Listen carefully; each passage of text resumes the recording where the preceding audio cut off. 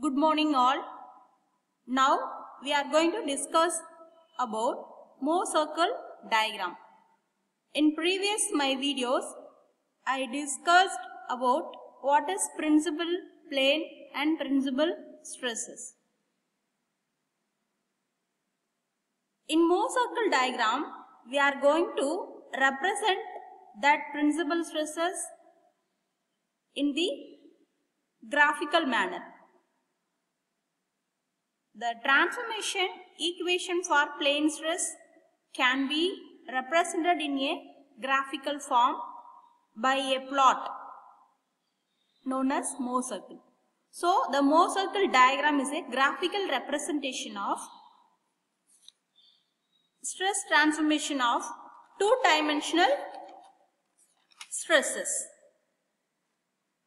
For example, the stresses consider this plane element, the stresses acting in x direction, the stresses acting in y directions. Similarly, in this case, here only the normal stresses is acting and here in this case, combined of normal stresses and tangential or shear stresses acting in this plane. So what is the use of Mohr circle diagram?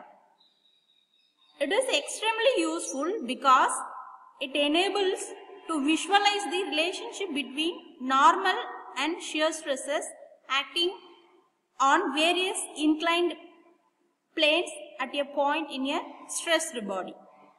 So using Mohr circle, you can also calculate the principal stresses that is maximum principal stress, minimum principal stress and maximum shear stress on a inclined plane.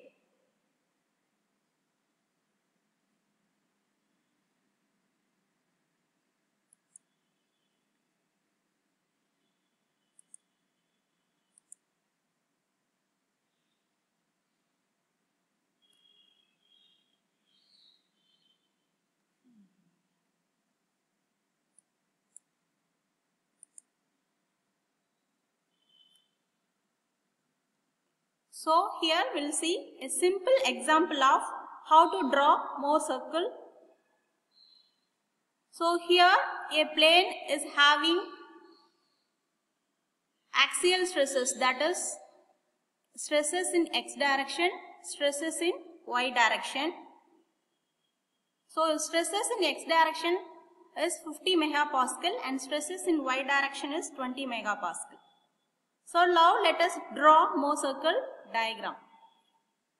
So take xy line.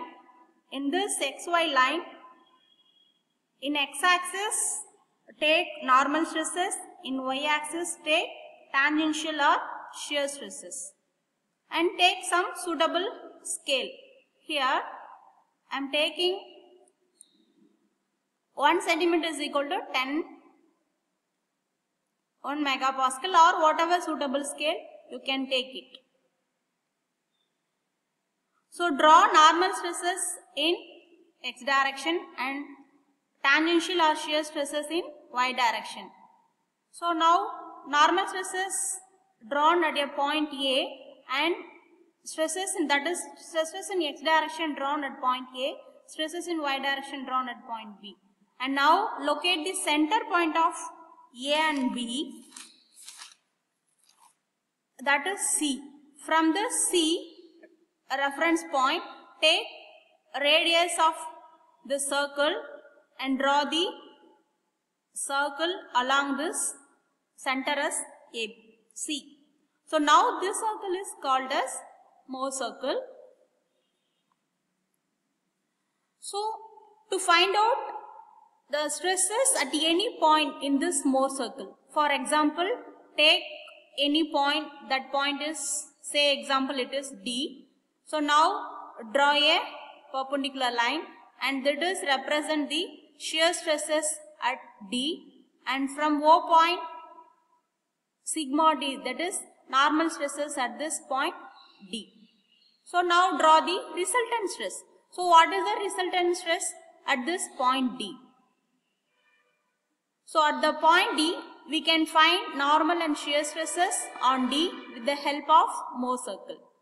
or we can find at any point at any angle we can find the what are the normal stresses maximum stresses and minimum stresses and also shear stress we can find out with the help of Mohr circle diagram here i i took only the uh, normal stress problem because uh, that is sigma x and sigma one, y only present so here measure the value of uh, tangential or shear stress in present at D. Similarly, normal stress at D. Thank you.